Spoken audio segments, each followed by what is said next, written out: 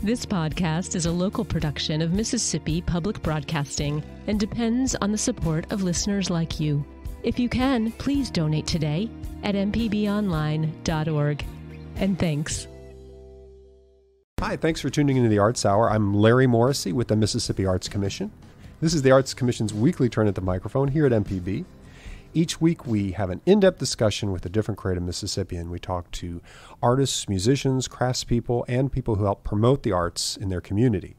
Uh, today, we're talking. We're going to be talking about a very special collection down in South Mississippi at the University of Southern Mississippi. And joining us today are Carolyn Brown and Ellen Ruffin and y'all have a new book out called A De Grummond Primer, highlights of the children's literature collection about the De Grummond collection that's based at University of Southern Mississippi. Ellen, why don't you start off and tell us about what it is and, and what, what it's contained. You're well. I'm sorry. Introduce yourself. Okay. you are the curator yes, of the collection. I uh, apologize. I'm Ellen Ruffin, the curator of the De Grummond collection, and we're housed in McCain Library and Archives.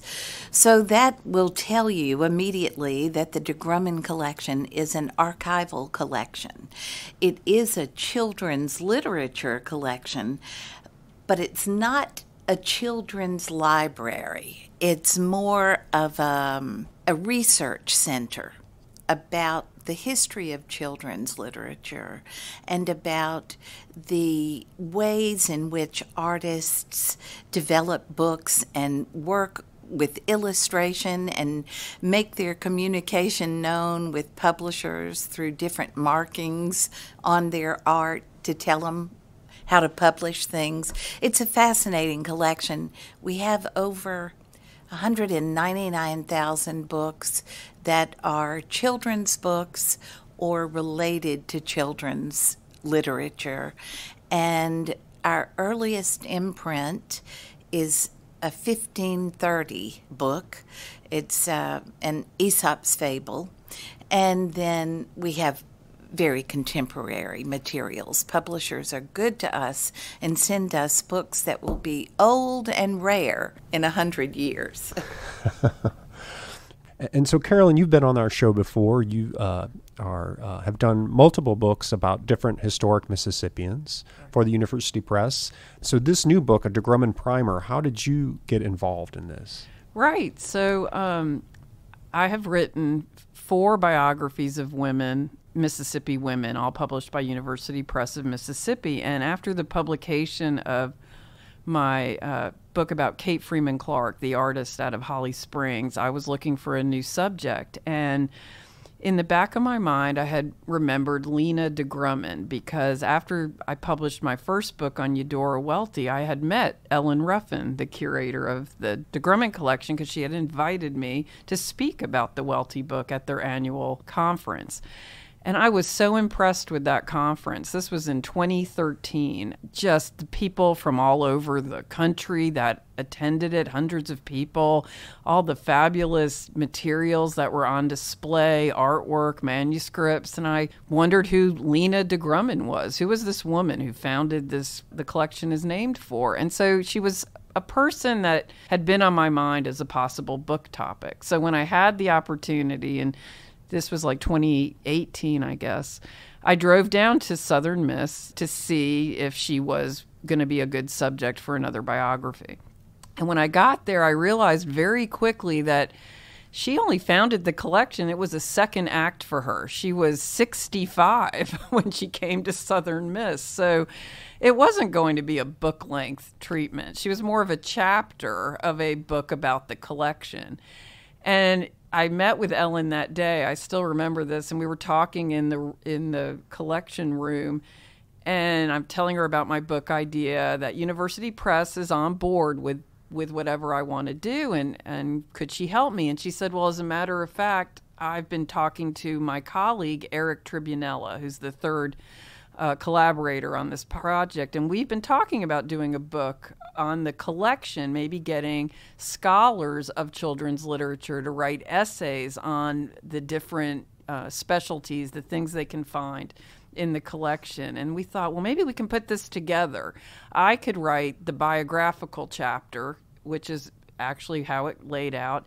And then we have 17 other chapters that were we invited, and this is where Ellen and Eric created this part of the book, invited people they knew who have used the collection for their research, the, like the top names in children's literature, and um, to highlight what's special about the De Grummond collection. So um, that's how the book came to be, and I'm so it's a different project than what I've written in the past, since I'd never collaborated with others before, but I enjoyed it very much, and I served as an editor, editing all the essays that you can find in the book. But Lena de Grummond is a fascinating woman, and um, she has a great story. As I said, she was 65 when she was invited to Southern Miss, and it was a second act for her. Her first career was as a librarian, working her way up from a desk librarian to state supervisor of school libraries in Louisiana. And she was forced to retire. It was mandatory retirement uh, by the state at that time, and she wasn't ready to retire.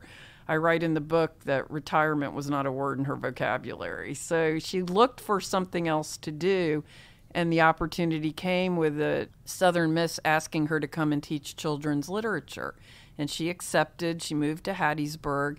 And this is another aspect of her story that I love is that she was a teacher and she was teaching a class that met once a week at night for four hours a night. And a lot of us have taught or been in classes like that where the students were adults who were working all day and they would drive up. Um, she wrote in an essay about this upwards to 100 miles each way to take this class. And she respected that and she wanted to make their time worthwhile. So she wanted to bring in show and tell items. That's literally how this all started because she's a great teacher. And because of her connections as a librarian in Louisiana all those years, she knew some authors and illustrators and she started writing to them and asking them to send her things, anything. Just she even said, if you're going to throw that away, send the trash basket to me.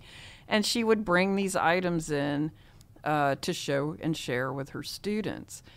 And this casual letter writing, what I call the letter writing campaign, became a more formal campaign in January 1966 when she started writing a, a, letter on Southern Miss letterhead. And she actually used the word collection. And she would write or type up to 100 letters a week. And she wasn't afraid to contact anybody, like the greatest names at the time. And she sent these letters out and she started hearing back from uh, the Haders, Berta and Elmer Hader, the Reys, of course, authors of Curious George, and they were all enthusiastic uh, to send her uh, materials. They said they'd be happy to. And what was really exciting were the letters themselves were the treasures. I think. I think, of course, Ellen. There are many treasures in the De Grummond collection, but these letters, in the book, you can see the images uh, are decorated in these authors and illustrators' signature styles. For instance, Curious George making his way to Hattiesburg. You're listening to the Arts Hour. Our guests today are Carolyn Brown and Ellen Ruffin, and we're talking about the new book they collaborated on, a De Grummond primer, highlights from the children's literature collection, which is the De Grummond collection at University of Southern Mississippi. So, Ellen, talk about some of those early successes that that, that De Grummond had in terms of. I was just amazed at those num that those numbers that she said like the low was like 100 letters a week but she would go much higher than that oh, right? oh yeah 300 and 400 letters a week which astounded me. For the longest time i would say oh she wrote 3 and 400 letters a month. And i think it was carolyn who pointed it out to me that it was a week. And she kept records of it. And carolyn very carefully kept notes and, and saw how she documented every visit, every letter, whom she responded to, what she said, where they were. And then she would make these visits to meet the people. This cracks me up because I would love to have this opportunity to just have the university fund my trip to New York and I would just, you know, place myself in a hotel in the center of Manhattan and then give them times to come by and meet with me. And she did that. And they were happy to do it. They were appreciative of the fact that she was making something out of their art. Most of these people were classically trained artists, and this was their way of making money. You know, at that point, illustration was not as well respected as it is now. Uh, I don't know if I should say it wasn't as well respected, but it didn't have the command that it has now. Uh, now, illustrators make money off of their work, and they can do all kinds of giclée prints and things that will sell in the marketplace. And and children's books at that time were probably just seen as you know like chaff. You know, the kid reads it and it, it wasn't seen as important as we look back now and we say, "Oh, Curious George, what a foundational work." You know, like it was just right. kiddie stuff, right? Well, and I think an example of that is we have several in the collection, the Big Little books.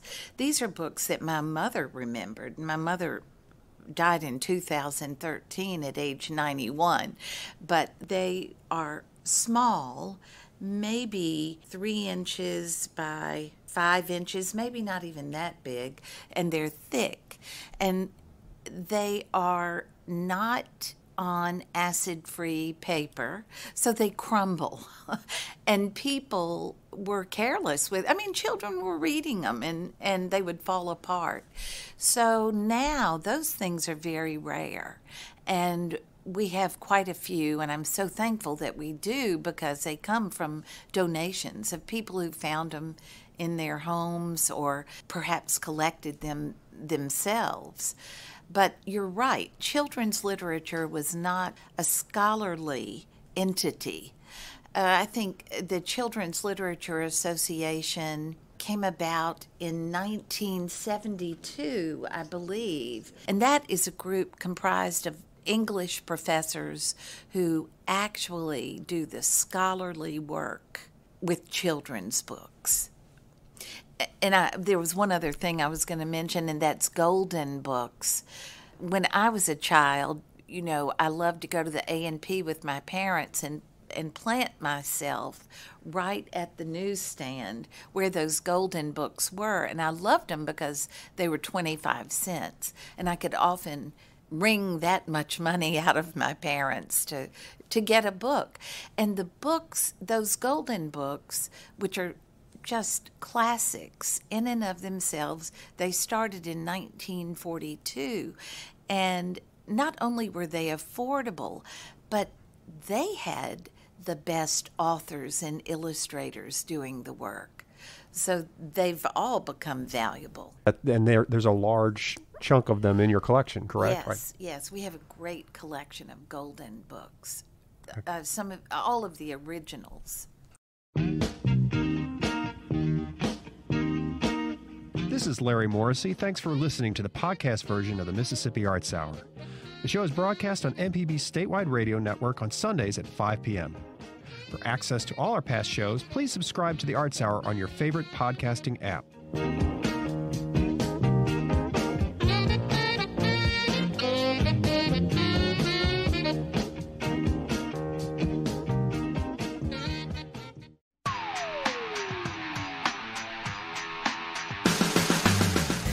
I'm Allison Walker, the Lady Auto Mechanic, host of AutoCorrect.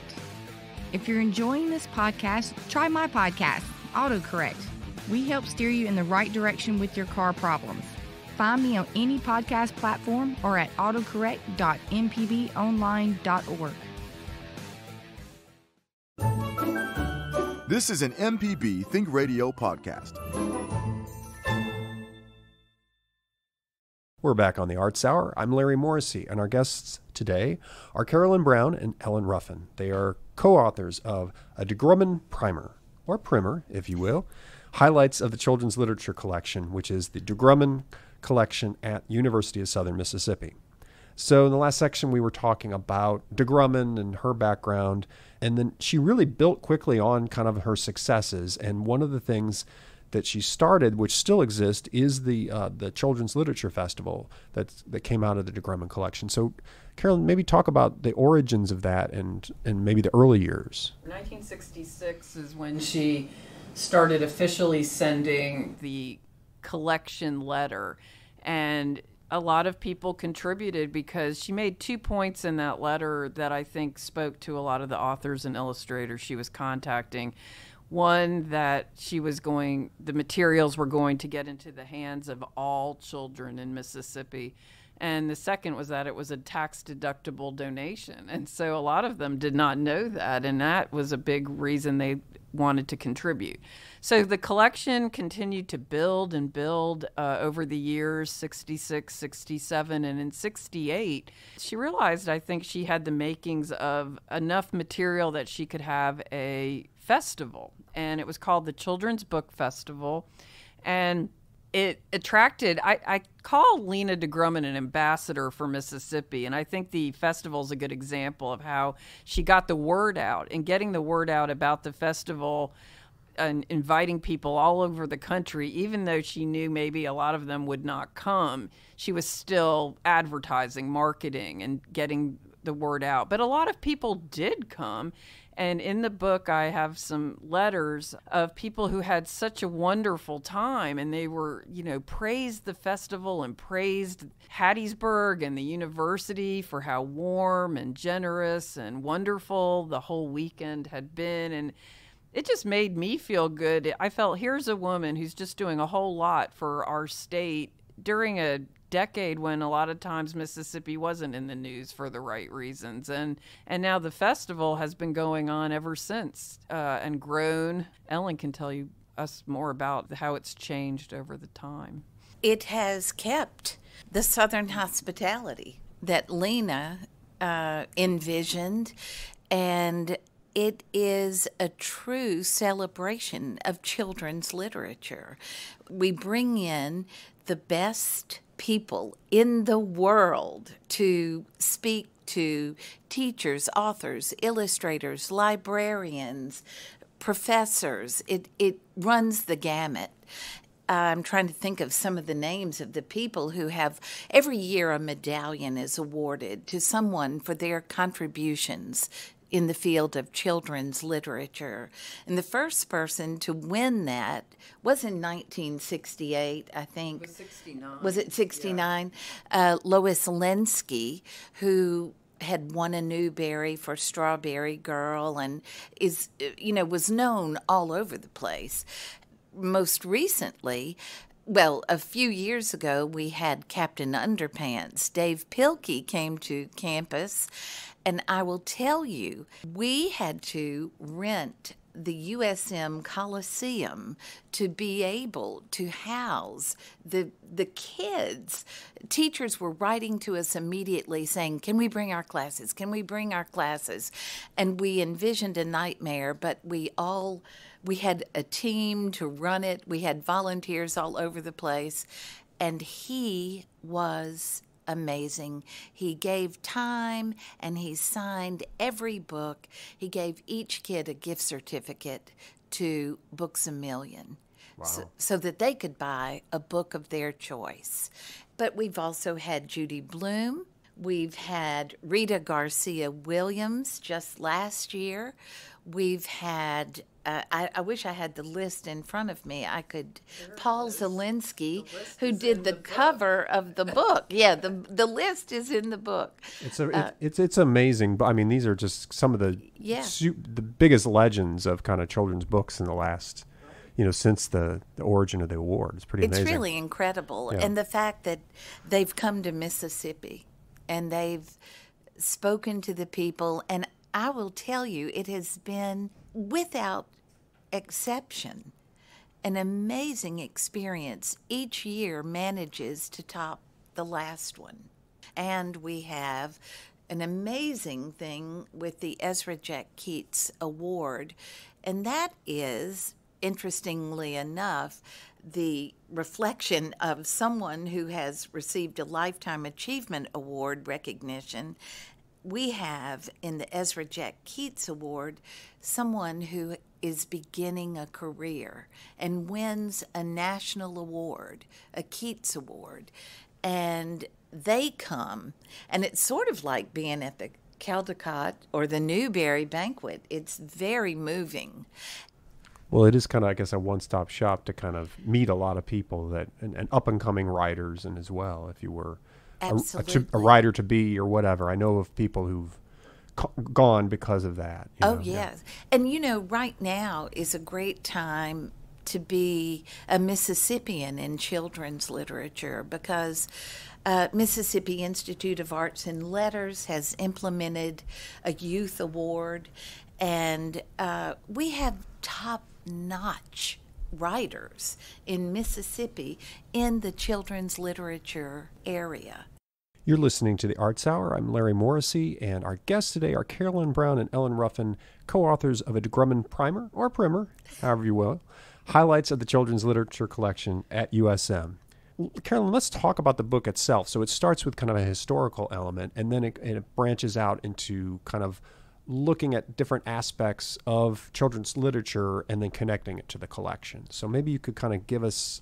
There's there's many many chapters, but maybe you could give, give us some overview of it a little bit. So uh, I wish Eric was here, our third colleague. I want to remember him. He this was really his area of expertise, along with Ellen. But we invited different children's literature scholars in these various fields, and they knew who the top scholars were in areas like fairy tales and folk tales and the golden books like we talked about earlier and of course the the Reys who people have come down to the De Grummond to do research on the Reys and other notable authors in the collection and contemporary children's authors and 19th century periodicals. I mean, it goes on and on. It's a fabulous range of topics, and they're all very kind of short, page and a half, two page essays that just get to the heart of how the De Grummond excels in these specialties and why it, what makes it really special.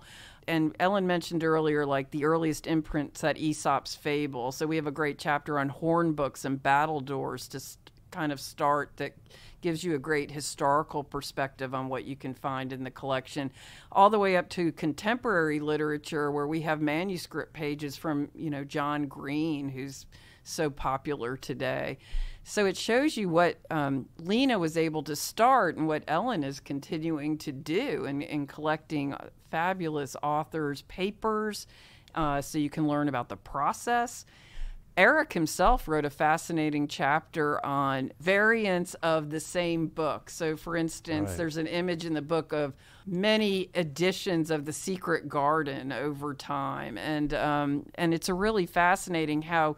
Like he talks about how Little Women changed language, like little word choices affect as we went further in time, how you would change a word or phrase because it might have been considered racist earlier and you're trying to clean it up. And it really can change your reading of a story when, a, when certain words are changed. So I thought that chapter was really interesting.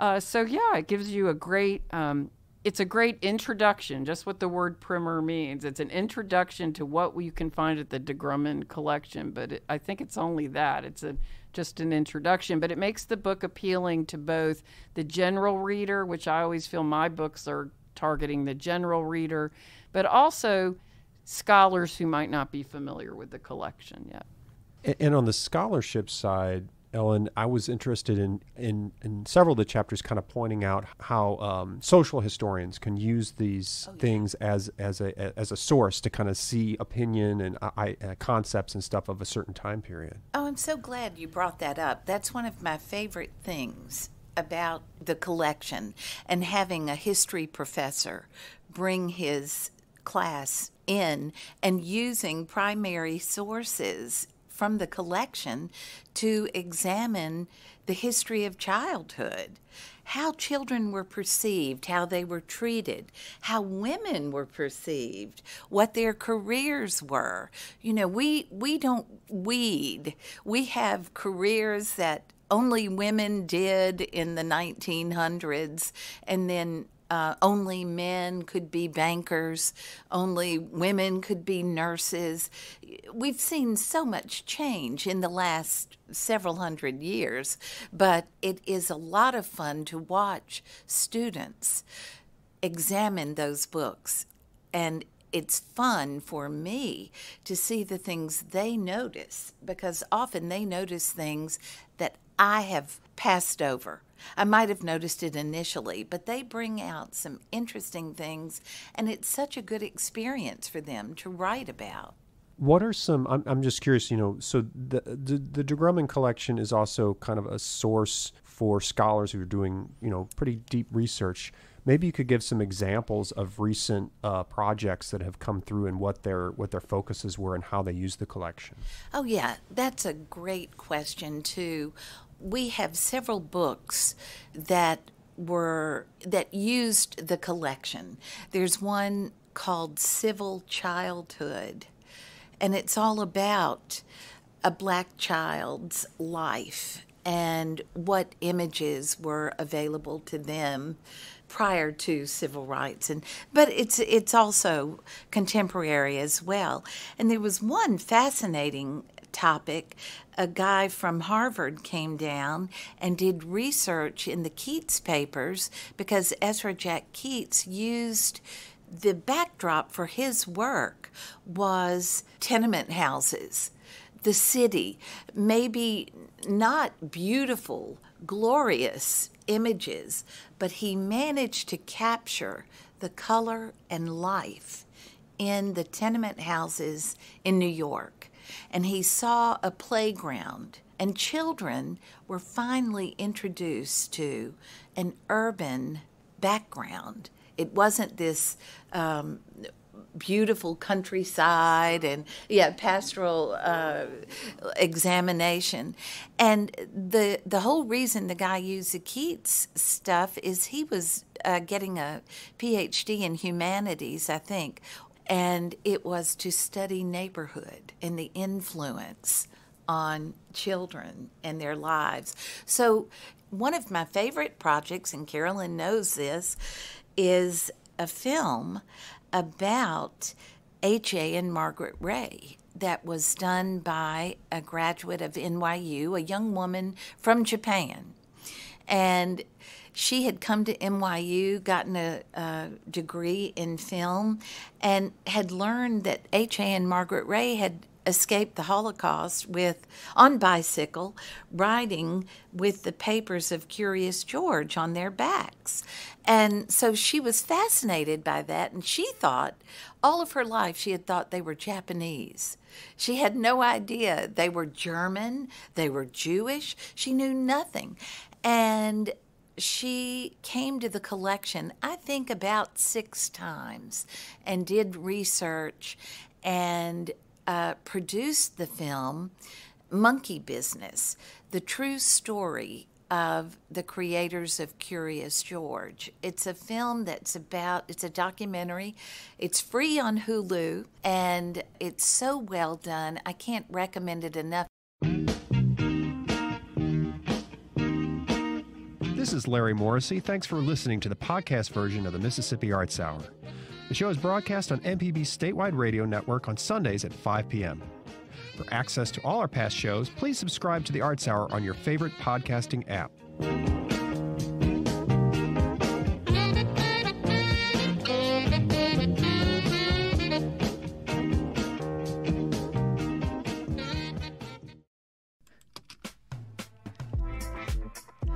If you ever miss one of our locally produced shows or want to simply hear it again, you can find what you need at mpbonline.org or download our podcast app to your smartphone.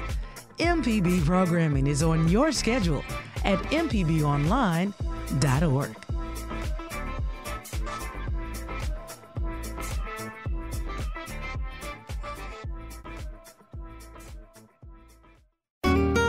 This is an MPB Think Radio podcast.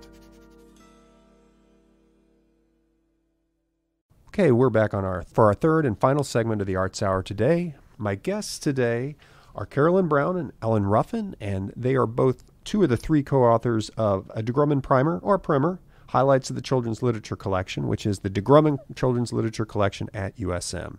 Sidebar here for a second, and maybe you could each talk about, Carolyn, maybe you could start and talk about either a specific item in the collection or a, you know like a, an author's collection within there that is was especially interesting or meaningful to you. For me, it's the letters that I found. I'm a big fan of uh, letters and people writing letters because I believe it's a lost art. And um, I couldn't have written any of my books without letters and journals that have been left behind of the people I've written biographies of.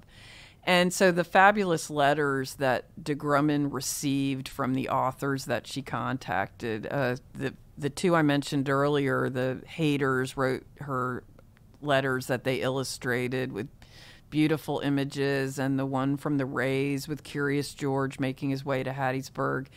And then there's two letters from J.R.R. Tolkien that are really interesting because uh, he forgot to sign the first one. And on in the first letter, he says, "I'm so sorry, I forgot. I, I don't have anything to send you." And it's on his letterhead. And then he must have realized after he mailed it that he didn't sign it. So they have a second letter and he says, I'm so sorry I didn't sign the first letter. And he signs this one, but he still never sends anything. but we do have the two letters in the collection on his letterhead. So those are my favorites. I also am very fond of the image on the cover of our book, which is by Paul Zelinsky. And that's a funny story because I, ever since I spoke at the festival, the Children's Book Festival, I've been on their Christmas card list they send a Christmas card every year. And so one year, I think it was 2017 or 18, they sent this image on our cover by Zelinsky uh, out as the Christmas card. And I saved it because I just save Christmas cards that I like. And when we were debating what image to put on the cover, I found it. I happened to find it and I said, Do you remember this image, Ellen? Do you remember this Christmas card? And Anyway, we decided it would be perfect because it has a D and a G in it. And it's so whimsical and colorful and, and just brilliant. Is it from a book or is it something no, you did? he did it for you. It's a doodle. Oh my goodness! It's that's his version of, of a, a doodle. doodle. It's very elaborate. and he's won, uh, I think, two Caldecotts. I know he's won one and a Calde- two Caldecott honors. He is an extraordinary artist. And uh, so we were thrilled with that image. Yeah. And thrilled to have it on the book. It just so happened that UPM liked it as much as Yeah, we did yeah. and decided to use it. Yeah. Ellen, how about you? What what's what's one of your favorites? I have to tell you, this is a very difficult question for me because I discover favorite things all the time. And one of the favorite things is the stuff from Emilie Blackmore Stapp, who was an Iowan who moved to Wiggins, Mississippi toward the end of her life. And she had sort of galvanized children in World War One to collect pennies for war orphans. And we have all of this stuff that she saved, and she had moved to Wiggins because her brother-in-law had started the lumber industry in in Wiggins in that area, and he had also given some land to Piney Woods School. So there are so many interesting connections with that general collection. But if I were to say my favorite thing, it is the correspondence, a piece of correspondence between Esphyr Slobodkina, the author illustrator of Caps for Sale, which is one of my favorite books, and I recommend it for everybody, and also Margaret Wise Brown they had collaborated on books. They had been published by Powell. William Powell was their publisher. And Esphyr Slobodkina writes Margaret and writes to William Powell complaining about the way the clerk at Lord and Taylor handed her her book. She'd gone to Lord and Taylor in, in the book section, and there was this young clerk behind the desk, and she asked for her book, and the clerk just sort of disinterestedly pulled it up from the bottom of the shelves and thrust it at Esphyr Slobodkina, and somehow this became her publisher's fault. And so the letter is all this, you know, reaming him out for his lack of support and appreciation for his talent. And so she has copied it and sent it to Margaret Wise Brown. And up on the top corner, she handwrote, Margaret, I haven't sent this yet. Should I? And Margaret Wise Brown on the other corner said, Fira. I suggest you build a roaring fire using this for kindling, get two bottles of red wine, and relax. so you get to see, and I have to admit, the correspondence yeah, is one of my favorite things. You're listening to the Arts Hour. Our guests today are Carolyn Brown and Ellen Ruffin. They are two of the three collaborators who put together a De Grummond primer or primer, highlights of the children's literature collection that's just come out on University Press of Mississippi. Ellen, maybe you could tell us about what we heard about De Grummond and how she collected things with, through this massive letter writing campaign. What are the strategies, or how do you get things uh, for the collection these days? Well, it's a, a it's a similar approach in developing relationships with authors and illustrators. And one thing I learned from reading Lena's correspondence is she became friends with those people. She was interested in their lives. We have the correspondence with Madeleine L'Engle, where you hear stories of what's going on with Madeleine L'Engle's children. And certainly Margret and H.A. Rey, that correspondence begins Dear Mrs. de Grummond, and it ends with Dear Lena, we're so sorry we missed you. And so their correspondence developed a, a friendship. And of course, we use email a lot with that. And it is always good to be where children's authors and illustrators are. And, you know, I try not to be obnoxious, but I'm certain I am because there are places people can give their papers everywhere. So it's a it's a, a real honor when someone decides to give their papers to Grumman. Now, I have to say, we have a good reputation for being a fine collection that cares and takes care of the archive and the papers of the authors and illustrators. And we also uh, have exhibits periodically, and we do things to promote the work of the authors and illustrators. We have a bi yearly newsletter that gives a lot of information about the collection and about different pieces in the collection or different aspects of the collection. So we're not shrinking violets in going after the papers of authors and illustrators. However, we do know that authors and illustrators can make money with their work.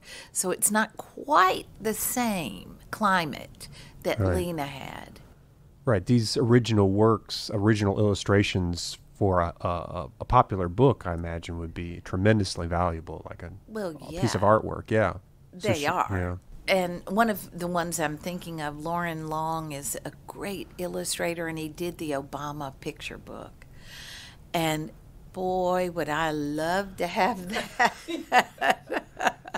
I've talked to him several times. I don't know. We'll, we'll see what happens with that one of the things that also I thought, like kind of in later in the book, when you're talking about kind of more contemporary world, is the kind of um, just how much this world has grown. And Carolyn, I guess through your your past books, you've your books for University Press were, although they, I think they are great introductions for all readers. Their market, I mean, the initial marketing was kind of like uh, juvenile readers, yeah. right? Yeah. Yeah. So tell about your experiences kind of a little bit maybe in that world of it just seems like it must be a massive scrum these days because everybody seems to want to write a children's book yeah so i did start out thinking i was writing a children's book. I actually when i was writing the welty book i thought i did want to write not a picture book but a young reader biography. And i realized quickly it's really hard.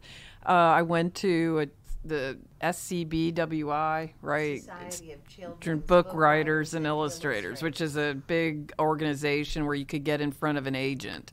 And I brought a manuscript and a chapter and got time with an agent. And I remember her saying, I like this, but this is not what I'm publishing right now. I mean, nonfiction was like not getting me anywhere in the children's book world. And then I realized uh, my style of writing, I mean, I'm a PhD and I just have an act more academic style. I, it was very hard to change my voice. And so I started, wrote my book in my voice, which was, as you said, an introduction with, but with footnotes and with pictures. But I thought anybody can read this. And I did, in my mind, have maybe high school uh, age it could be used if they were doing a unit on Welty, for instance. And I had success with that. But what happened was when the book started selling, when University Press did market it as young adult, that is on the Welty book, they realized a lot of adults were buying it, that it was a popular. Right book with just the general audience, no age required. And Not everybody so, wants to read the seven to eight hundred exactly. biography. You know, and with all respect to Suzanne Marrs, right. uh, you know, who's my mentor, I think there's room in biography for the different lengths of books. And if you want more, you read Suzanne's book, and you'll have everything you want. And it's funny, the same thing's happening with Margaret Walker right now. I wrote the you know 150 page biography of Margaret Walker, but Maryemma Graham, who's the scholar of Margaret Walker, former student of hers, read my book, signed off on it, said, Carolyn, you did a great job. She's coming out with the 800 page Margaret Walker book, hopefully at the end of this year. So I feel like it's a, a genre that has room for, and, and you know, there are baby biographies now, you know, all these different levels of biography. So, um, yeah, my experience does draw me to De Grummond and children's literature. I have great respect for the field, having tried to write on a younger level and, and not being able to do it successfully. Well, before we get out of here, let's. I, I want to uh, spend a minute just letting you all talk about stuff you've got going. So, Carolyn, for for folks who don't know, tell us about your other books and, and, and where people can find out about them. Right. Thank you. Um, so, I've written three other biographies, all with University Press of Mississippi, and they're available on their website as well as at Lemuria bookstore here in Jackson or on Amazon. I have a page on Amazon. And the first book was called A Daring Life, which is a biography of Eudora Welty. The second one was uh, called Song of My Life, which is a biography of Margaret Walker, uh, the African American writer from Jackson as well, who I have to say I knew nothing about before I moved to Jackson. And that book was my education as to who she was. She's the author of Jubilee, uh, as well as many other poems and essays. In my third book, I decided there wasn't another literary lady I wanted to cover at the time, so I did a book on Kate Freeman Clark, the great American impressionist, student of William Merritt Chase's. Uh, who's from Holly Springs, Mississippi, and there's a gallery there of her work. And that book, interesting, I feel like there's been this, you know, pathway, but that book was our model for the De primer book uh, in terms of size and the way we laid out the images. Actually, Pete Halverson over at University Press of Mississippi was involved with the Kate Freeman Clark book, and he was the main art designer of the De book. And shout, I want to give a shout out to Pete because we think yeah. the press did a beautiful job with the publishing of this book. Ellen, so um, the De Grummond collection, um, y- y'all are going to be involved with the upcoming uh, Mississippi Book Festival in Jackson. Yes, Tell us about what you're going to be doing with that. Thank you for that. Um, well, we'll have a panel of several people who have contributed chapters to uh, a De primer, highlights of the children's literature collection, along with Carolyn and Eric, and um, that'll be interesting. And we're going to have an exhibit in the rotunda of the Capitol highlighting some of the images. We'll bring the artifacts and have them in the rotunda. Then 2021 is the 80th birthday of that little monkey who has traveled around the world, Curious George. And so we're going to have a birthday party for George with the children's activities. George himself will be uh, there. So children can have their pictures taken with George and all of that kind of stuff. And actually, we're going to have and this is just going to be online. You can enter this if you choose to. We're going to have an 80 mile walk from September th- through middle November. Uh, so, to give people enough time to accumulate 80 miles, and you'll get a pretty nifty t shirt as a reward with an original illustration from H.A. Rey on it. And uh, it'll be a good way to give recognition to those 80 years George has spent on the earth.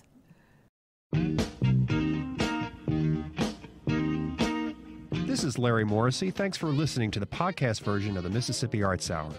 The show is broadcast on MPB's statewide radio network on Sundays at 5 p.m.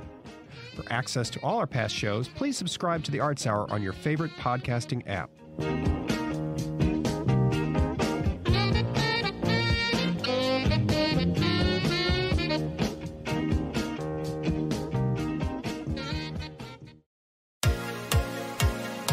On Southern Remedy Healthy and Fit, you get information about foods you should eat to stay in good health and tips on how to stay active. I'm Dr. Josie Bidwell, host of Southern Remedy Healthy and Fit, and Associate Professor of Preventive Medicine at the University of Mississippi Medical Center. Listen to the show every Monday at 11 or subscribe to the podcast by searching for Southern Remedy with your preferred podcasting app.